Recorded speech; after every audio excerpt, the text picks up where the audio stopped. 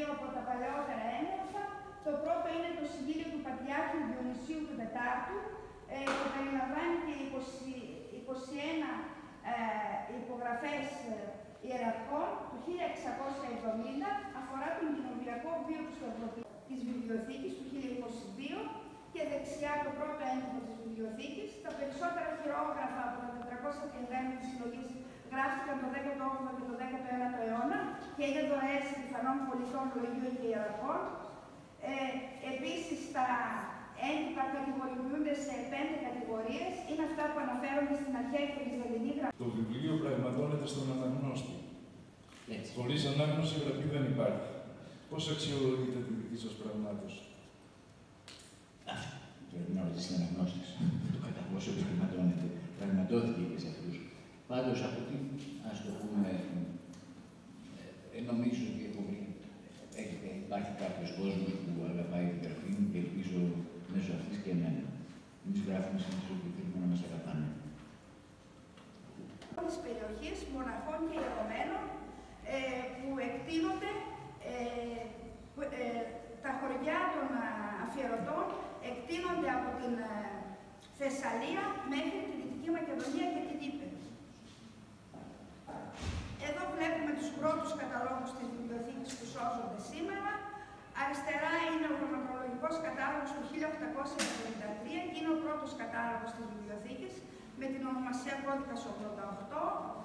Ε, και δεξιά βλέπουμε το δεύτερο κατάλογο της βιβλιοθήκης που είναι ο επίσημος κατάλογος ε, της βιβλιοθήκης, της κοινοτικής βιβλιοθήκης όταν παραδόθηκαν τα βιβλία στον Αγνωστήριο Κοζάνης το 1916 και περιλαμβάνει περισσότερα από 6.000 έντυπα. Στη συνέχεια η κατάλογη του Σιγάλα και του Καλυντέρη το 1939 και το 1951 και η έντυπη κατάλογη δίδεται καθημερινά. Ο Γιώργος Παναγιωτήρης στο έντυπο ε, για τη διάλεξη ε, για τη διάλεξη ευκαιρία των εγκυρίων της Βιβλιοθήκης και του Εργοστηρίου στις 10 Ιουνίου του 1923 αναφέρει ότι εντοπίστηκαν αποδείξεις δανεισμού από το 1720. Το 1873 πραγματοποιήθηκε επαναταξινόμηση των βιβλίων και ανασύσταση του καταλόγου της βιβλιοθήκης. Η βιβλιοθήκη λάμβανε συνδρομητικά εφημερίδες από την Ελλάδα και από το εξωτερικό.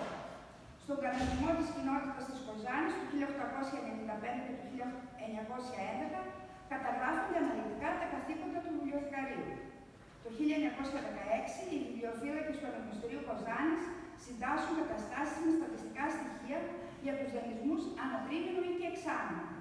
Στη θητεία του Νικολάου Δελιαλή ιδρύεται το τοπικό α, ιστορικό αρχείο των Γενικών Αρχείων του Κράτους το 1945 ε, και με την βοήθεια του Αντωνίου Σιγάρα και του Μιχάλη Καλεντέρη, οι οποίοι ήταν πανεπιστημιακοί από τη Θεσσαλονίκη, γίνεται προσπάθεια απογραφής, διαφύλαξης και επιστημονικής οργάνωσης του υλικού.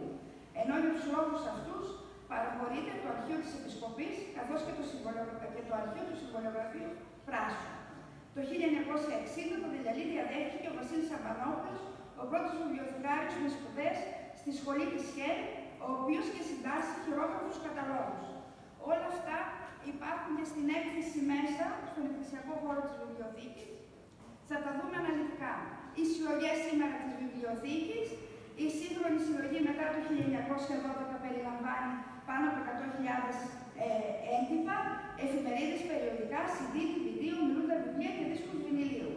Ενώ η ιστορική συλλογή περιλαμβάνει 431 κώδικες χειρογράφων και 366 κώδικες εγγράφων, 14.000 έντυπα που αφορούν εκδόσεις από το 1494 μέχρι το 1912, περισσότερα από 100.000 λιτά έγγραφα, εφημερίδες, περιοδικά, χάρτες, πίνακες ζωγραφικής, φωτογραφική συλλογή, αρχαιολογική συλλογή και φυσικά τη ε, βιβλιοθήκη του Μητροπολίτη Διονυσίου Ψαριανού. Στίχοι που έχουν μελοποιηθεί από σημαντικούς συνθέτες και ερμηνευτεί από σύγχρονους Έλληνες τραγουδιστέ, όπως η κυρία Καλλιώτη Πέτα. Ναι. Έχει μεταφραστεί, έχει μεταφράσει πάνω από 40 βιβλία Σλάβων κυρίω συγγραφέων, βιβλία πεζά και ποιητικά κείμενα του δικά του έχουν μεταφραστεί στα αγγλικά, γαλλικά, γερμανικά, ισπανικά, σουηδικά, ρωσικά, βουλγάρικα, λιθουανικά και αραβικά. Ζει και εργάζεται στην Αθήνα. Ε, σε λίγους μήνες συμπληρώνει 40 χρόνια, το 2024, στα ελληνικά γράμματα. Πώς αποτιμάτε αυτή τη διαδρομή, κύριε Σταθήρα. Ως μια πάρα πολύ ενδιαφέρουσα περιπέτεια. Νομίζω ότι ο χώρος της γραφής, μάλλον αυτοί που κάνουν αυτό το συγκεκριμένο το ταξίδι, όπως και κάθε άλλος, άλλωστε όπως και κάθε άλλο ταξίδι στη ζωή, η ίδια η ζωή, είναι μια οδύσσια, είναι μια περιπέτεια. Εμείς πήραμε αυτή τη μονομέρεια, τη μονομέρεια του λόγου, που σε πηγαίνει σε άλλο είδους πέρα και άλλους θάλασσε. Νομίζω ότι ε, δεν ξέρω τι έχω δώσει εγώ στη γραφή. Ξέρω ότι μου έχει δώσει εκείνη. Αρχίζει σήμερα το 7ο Συμπόσιο Λογοτεχνίας που διοργανώνει παρέμβαση σε συνεργασία με φορείς της τοπικής αυτοδιοίκησης, σε συνεργασία με φορείς του πολιτισμού και των γραμμάτων. Ε, τιμόμενο πρόσωπο είναι ο γνωστό συγγραφέας Χρήστος Κομενίδη, ενώ συμμετέχουν στο συμπόσιο πάνω από 40 άτομα από την περιοχή και από όλη την Ελλάδα. Θα έχουμε λοιπόν την ευκαιρία να, να γνωρίσουμε, να δούμε, να ακούσουμε ανθρώπους αξιόλογους των γραμμάτων. Ε, η θεματολογία του φετινού συμποσίου είναι ιδιαίτερα ενδιαφέρουσα και πλούσια. Ε, έχουμε θέμα το χρόνο που περνά και χάνεται, ε, αφιέρωμα στους νέους και τη λογοτεχνία, αρχαιολογία και λογοτεχνία στην Αλκιζέη, επειδή το 2023 είναι έτος Αλκιζέη, αφιέρωμα στην εταιρεία λογοτεχνών Θεσσαλονίκης, καθώς και έξι εργαστήρια συγγραφέα που θα ακούσουμε τέσσερι, έξι προσωπικότητες της σύγχρονης ελληνικής λογοτεχνίας να μας μιλούν για το έργο τους και τις απόψεις τους γενικότερα. Το Συμπόσιο Λογοτεχνίας ξεκίνησε το 2016 ε, θα έλεγα ότι είναι πλέον θεσμός. Από τότε έχει φιλοξενήσει και έχει τιμήσει κορυφαίες προσωπικότητες των γραμμάτων. Το Θανάση Βαλκινό, τον Βασίλη Βασιλικό, τον Τίτο Πατρίκιο, τον Παντελή Μπουκάλα, φέτος τον Χρήστο Χομενίδη. Θα έλεγα λοιπόν πως είναι πλέον θεσμός. Ε, είναι μια μεγάλη γιορτή της λογοτεχνίας που πραγματοποιείται στην Κοζάνη και, απο... και αποκτά εθνική εμβέλεια στα ε, έχω πάρει μέρος πολλές φορές στην έκθεση βιβλίου στη Θεσσαλονίκη, όπως και πρόσφατα το καλοκαίρι επισκέφτηκα το φεστιβάλ βιβλίου στα Χανιά.